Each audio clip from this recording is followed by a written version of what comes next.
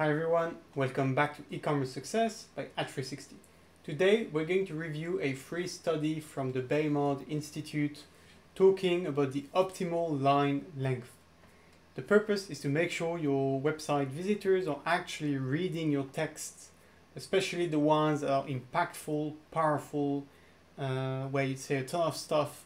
If you read that, if I mean if you write that but nobody reads it, that's uh, that's a missed opportunity, right? So I think it's an interesting uh, study. I uh, read it today and I wanted to share these uh, findings with you. If you like this content and this channel, please subscribe, comment below, like this video. All these small actions really make a big difference and they, help, they help us grow the channel and help many business owners be happy, productive and successful. So thank you in advance. This video is brought to you by Ad360. Ad360 is the easiest way to start advertising all over the web in just one click. More on that at the end of the video. Okay, let's have a look. So this is the Baymard Institute. So I've reviewed already a few of these of these uh, studies. I'm not affiliated with them in any way, but I really like what they're doing. They're doing a ton of uh, research uh, where they analyze uh, a, a, vast number of online shops, e-commerce businesses. They make focus groups. They ask for uh, website visitors' feedback, and they make very nice studies that are really insightful. And so today the topic is readability, the optimal line length. Now it might seem like it's a small detail, and it's a very technical thing, but as we said yesterday in yesterday's video, if you haven't seen it, check below uh, the video of yesterday. Texts and descriptions matter really much. They are super important they matter very much. You need to have these on your website still today, still in 2022. It's super important to create rapport with your visitors so that they understand who you are, what's your story, what's your mission statement, why you're doing business and why they should buy from you and not some somebody else. The problem is if the text is uh, poorly written or not really agreeable to read, nobody's going to get the gist of it. So you're, you know, it's as if it's not there. And so you see from this first example, it's a bit visual. Let me see if I can increase the size of the screen a bit maybe. Um, from this first example, we see, you know, this is three times the same text, but the line length, so how many characters per line you're writing has a big impact on readability. And so, you know, just at the conclusion of the study, you need to have between 50 and 75 characters per line uh, including spaces to maximize readability. And the same text, you know, three times this one is much more, I agree, I think this one is much more uh, agreeable to be read compared to the first one, which is way too narrow, and the last one, which, you know, is too long, so you have to move your head too much. I don't know if it's a psychological thing or not, but it's it seems uh, a bit less, a bit more painful to, to read compared to the middle one. So the optimal line length for body text is 50 to 75 characters. Shorter or longer line length can hurt readability. Our large-scale testing reveals that text line length often makes product or service uh, descriptions unnecessarily difficult to, for users to read. So that's super, super important. Okay, I'm not going to read everything, but uh, I want to show you a few of the examples. The first one we already saw. Let me get directly to um, the, the, the key content. So they explained, they, they both studied some con uh, content from uh, Emil Ruder, a mid-20th century Swiss graphic designer, and in his book uh, Typography, he already said the optimal line length for body text is between 50 and 60 characters. You have other sources, and they made other studies on a wide range of websites uh, with you know uh, users feedback being recorded to see what people are saying. So here's an example. Uh, so you see the website the text and uh, this below is the comment from the user so random user analyzing the website so a potential buyer. They're saying there way too much uh, there's way too much here I can't even suss out what would be helpful. This user on Mahalo found a lengthy description paragraphs hard to digest so chances are they're not going to read anything. And that's a shame because if you add longer descriptions with big text, it's because you want to convey a ton of information. and the more information you convey, the you know more reasons you're going to give to people to buy your products. But if they're poorly formatted and people don't actually read that, it's as if you haven't said anything. So you have to find the right middle ground. Here's another example.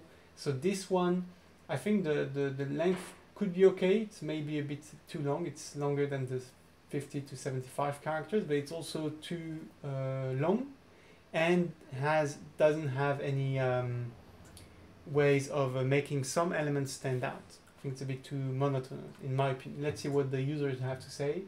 It's a little more difficult, I would say, to just kind of read through this. I'm never a fan of having to read through all this material. So users, what I get from that is user, com oh, sorry, can see the text. So, yeah, so users are considering this uh, difficult. Uh, I think it's you know an effort for them to make. And this reminds me of the video we made last week on the return on click investment. It's a bit of the same before clicking on something, people are going to mentally and subconsciously evaluate whether it's worth it or not for them to click, whether uh, they're going to like what they're seeing based on what they are expecting to see. And so if things are not clear or, you know, they don't really know what they're going to get, or if they're disappointed on landing, they might leave because there's a mismatch between the effort of the click and the return they gain. Here's a bit the same. There's, we could say there's like a return on uh, reading text. So am I getting good return for my effort or not? So, um, so the optimal text line length for e-commerce sites and accessibility con uh, concerns. So they're saying, you know, 80 of viewers character. Um, they made some research. I'm not going to go through all of that, but uh, they're using some tips in terms of CSS, how you could do that. Um, and here's a, a, nice example, which I like because it reminds me of the um, the Bose. Oh, actually, it's from Bose, right? So this is the Bose website. I was going to say this reminds me of the Bose website. I actually already made a video. You can find it in the description. It will be the first referenced video link. Usually in my descriptions, I put a few videos that are connected to the topic of the day. So you'll find it. I made a video looking at the Bose website and looking at how they present their products and the features, the benefits, user stories. And I think they really nailed it. It's super, super well done. And so for them, usually you have an image and a text. So you see, it makes the text easier to read. So it's not just to illustrate uh, what they're saying, it's also to make the text easier to read and to digest. So that's super, super interesting. So let's see what the users have to say below. So they're making a different point with the place where you play, Bluetooth connectivity. It's a lot easier for me to understand. You can tell that these are the selling features that make our speakers different from others, and this is what makes it special. So this is a user commenting on the Bose website. They found it easy to navigate the product description from, uh, sorry, for uh, Bluetooth speakers, which was structured by feature highlights and had line length that supported readability. So two things, so line length is better compared to the examples above that we had, this one, but also it's broken down. So how do they do this? With three elements. First one is the title. So you have two titles, plays, where you play, and Bluetooth connectivity. So you have the title, the big title that's break that breaks a bit the, the pattern and uh, you know makes it stand out. So you understand these are two different things you can actually you know miss one go next to the one that you're interested in so it's easier to navigate the second thing they're doing is they're using images to you know break a bit it's not just text you have text image uh, image and text and the third thing so is they switch you know the, the pattern so to make it maybe a bit more lively so they have a text on the left an image on the right and here image on the left text on the right so that's something you can do especially on their website because they have a ton of features like that. You have maybe you know between five and ten different paragraphs like this. So to make things more lively, you can jump from left to right. Uh, that's uh, something frequent. Here's another tip. So compared, you see, to the previous text, which was uh, too long, too you know uh, dry, you know like not fun enough to read. This one, just with the bullet points and some you know items highlighted in uh, with bold boldness, uh, they're making the text way more uh, digestible. So let's see what the user has to say. I wanted to see if it was waterproof and it said don't submerge it. Can we see where this is said? Um, splash proof. Yeah, just don't submerge it. So you see, I found this pretty easily. I was looking for waterproof something, then I found splash proof, and then I found water and just don't submerge it. If I was looking for something specific in the text above, like this one, chances are I wouldn't find it quickly at just a glance. So having titles like this allow also you, your users that are looking for a specific information, specific response, a key piece of information that they're looking for, allows them to find it super easy. So this user says, uh, I thought was super helpful to know. So this user that found super easily and quickly the information they were looking for, they're way more likely to buy right away the product. If you have a long description which is super hard to read and they're not finding right away the information they're looking for, they might leave your website and go on the competitor's website just by, you know, they go back to Google, they, they type, you know, uh, waterproof uh, case or phone or whatever, uh, and, and they might just leave your website because of that.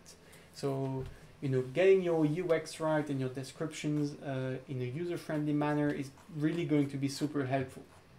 Another one here, you see, so when you don't have an image to break, break the, the pattern, you can just use uh, uh, like a description on the left and then bullet points on the right. I, find this super interesting. And the title, of course, to really highlight a, a certain element. Um, okay, okay, that's it. So is there a conclusion? Um, by setting line length to support readability sites will encourage users to learn more about their products and services, which, as our testing has shown, typically results in increased user interest and increases the likelihood that users will decide to purchase a product or service. So this is not just like a technicality for website design uh, designers or design experts, uh, UX professionals. No, this is something you should care about, and it's not going to take a lot of time for you to you know change a bit uh, how you're you know you're writing your text, making sure they have the right length, you know making your text a bit less monotonous by using bullet points, highlighted words, a bold, uh, italic, maybe some images, subtitles. You have a ton of different tips like that to make things more lively, more uh, digestible, more readable, and this is going to result in better uh, conversions. Let's look at the last example. For example, last week we had reviewed a couple of times this shop, so all things baby shop. So this business owner is really making changes spot on whenever we uh, point out something. So I want to help you today again. I think this text about us, which is really good. So last time I told you it was too small, so it was completely unreadable. So you made an improvement by increasing the, the text size. So I think it's much better. But I think this text suffers maybe from the same problem some of these texts uh, face. So first, it's too long. So maybe users are discouraged to read because it looks like a lot of effort to read. Secondly, like this uh, first or second examples we saw, the text is too monotonous. You have like everything bolded, which is a bit strange. So, you know, the text is like bolder than the header. It's, you know, the, the font weight is higher. So it makes it a bit difficult to read. I think it's more efficient to have only maybe certain subtitles uh, in bold or keywords or key you know groups of words to really highlight certain elements. So for example, here you say you know family owned. That's something that could be uh, bolded. Uh, or this sentence, we launch a baby store after having our first child. You know key elements like that. Um, is there something else? You know like. Uh, customer centered, maybe um, you know you, you decide what really stands out in your opinion. But i think you know you'd be better off maybe so reducing the size so making the text narrow so you can put like space on the left and right make sure it's you know more narrow maybe breaking down a bit. The second paragraph maybe just have a, a key you know title like that and then a few bullet points.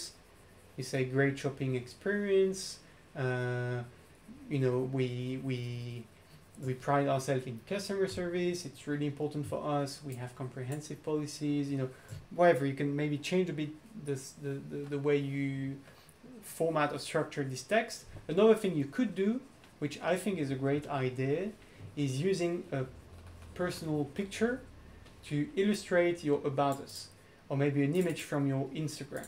You know, so if you can put maybe on the left a small image that shows you yourself, you know, your family, um, you know, so the whole family or just the parents or the parents with the baby or something. So I think that's going to make it more personal. You can have this image on the left and the text on the right, which is also going to serve this purpose of making things more readable, like on the Bose website. Okay, I hope this uh, little tip uh, will be helpful to you and to everyone else that has uh, descriptions on their website, and you should have if you don't have description. If you're not saying anything, don't think you're better off. You're actually worse. So check yesterday's video and the other videos that are listed in the description, uh, where I review Google's guidelines for content on e-commerce websites and in websites in general. Uh, how to get picked up and indexed and served as a response by the search engine algorithms. Um, why you need better product descriptions, how you create trust with buyers and increase conversion rates by adding better descriptions. So all of these videos you can find in the description below. Okay, thank you very much. I hope you learned a few interesting things today. If you want to grow your shop after you finished optimizing all the content and the shop is great, well presented, you have all the product, the pictures, the next step is running ads and bringing qualified audiences to your shop people that care about what you're doing, about your products, about uh, you know your mission. And to do that, it's never been easier thanks to Ad360. So Ad360 is our app that you can find on Shopify and soon on WooCommerce. You can download the app uh, for free. There's a 14-day free trial. You can try it for yourself. And so the big benefit of the app is that you can just get started with you know with everything will be covered in less than five minutes. You can install the app, follow the onboarding uh, two steps super easily and then you can click on one button to start advertising. Everything is automatically generated. You have banners with your product info and we run these on the relevant websites. So we find automatically websites to run your ads into. We are connected to hundreds of millions of websites. So news uh, blogs you know websites talking about a certain uh, topic and we're going to find the right placements and focus your budget where it's going to bring you the most views, the most clicks on your website, and the most sales. So if you want to learn more, feel free to try for yourself and download the app from the link in the description. Thank you very much. I wish you a ton of success and a ton of happy customers.